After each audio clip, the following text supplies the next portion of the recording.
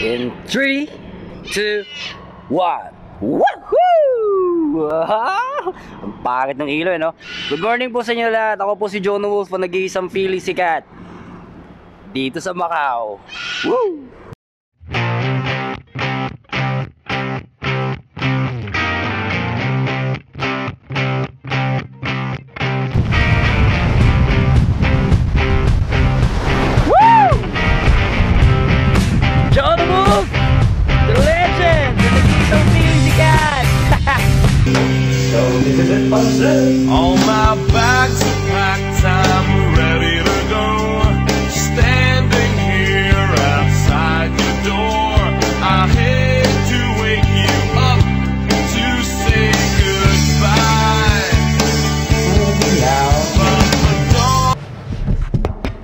Now I'm ready.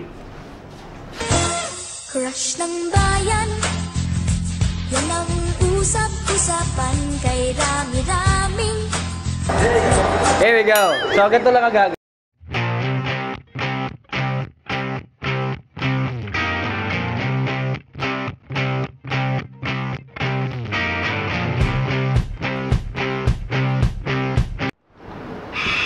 Tangin hindi ko alam kung ano yun. Sumisigaw-sigaw doon.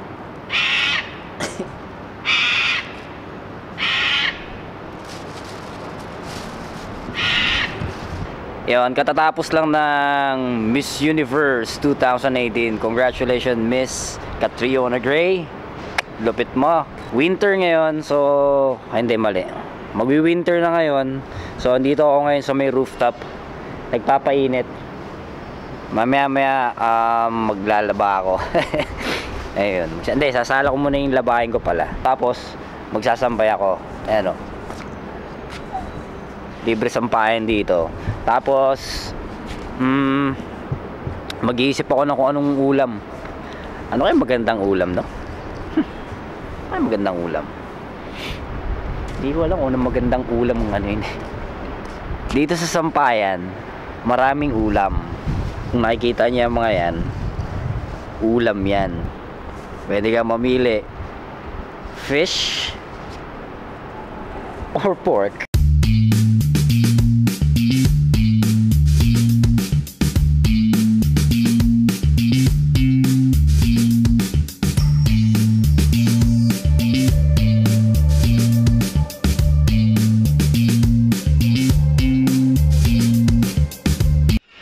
So ayun nga, ah, wala naman tayong ibang gagawin ngayon kundi magkamustahan lang, ah, pag-usapan yung mga bagay-bagay na nangyari ng hindi natin namamalayan. Tsaka unang-una, maraming salamat pala dun sa mga ah, hiningan ko ng tulong nitong nakaraang buwan. Maraming maraming salamat po sa inyo lahat. Mabuhay kayo. Tayo na, ang, ang, ang weirdo talaga ng sumisigaw dun, oh. hindi ko hindi ko alam kung ano yun eh. Hindi kaya yung bantay ng mga isda dito yung mga baboy.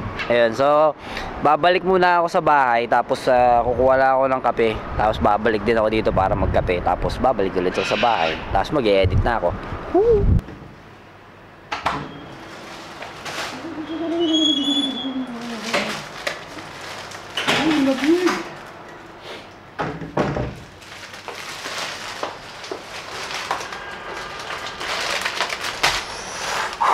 Brr, grabe, lamig nun ah. Bumili pala muna ako ng kape. Yan. Great taste. Sana great yung taste nito. Great taste. Baka naman.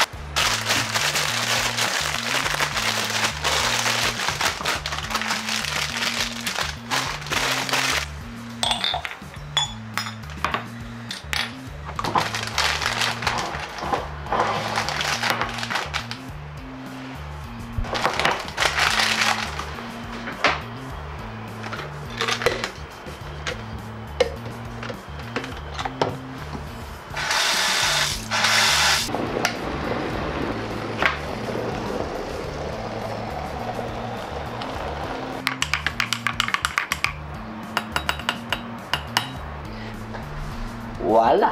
Luto na. Di ba? Ayos na yung coffee. Akit tayo dun. Tara. Ah, yun. So, andito na ako ulit. Medyo tatago lang tayo sa araw ng bahagya. Ang weird talaga na nandun, oh. Yan, oh. Yan, oh. Kami sumisigaw ng... Hindi ko alam kung fans ko to, galit sa akin eh.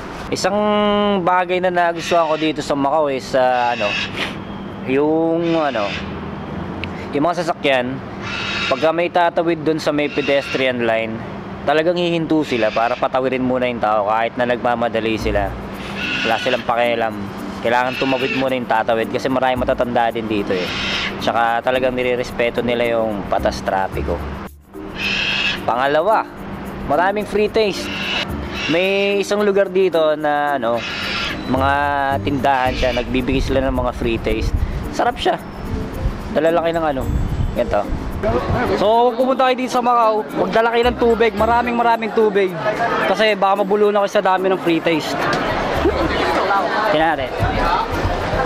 Bine, bine, bine să la bine și să...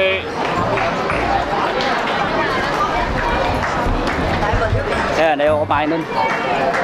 Hindi ako napalakayan. Pengaw! See? Wee! Ching! Cheers, cheers! At syempre, hindi mawawala dyan yung privilege natin. Yun, Chloe ka. May mga privilege talaga kayo na makukuha. Kagaya na ito.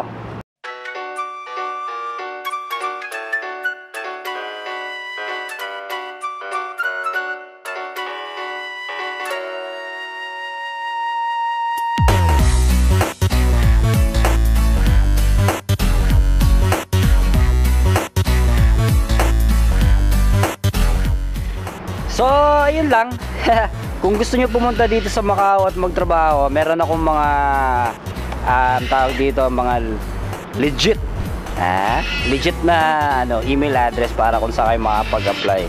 Tapos bigay ko rin sa inyo yung agency ko kahit mahal sila maningil. May placement fee kasi. So, pero okay lang. Para kung ano sakali baka makatulong. So, PM lang kayo. Sasagutin ko yan. Kahit anong klaseng tanong, mala Kuya to eh. Di ba? Oh, ha? So, ayun, maraming salamat po sa inyong panonood. Tapos, baka galingan ko na lang sa susunod. Practice lang naman to eh.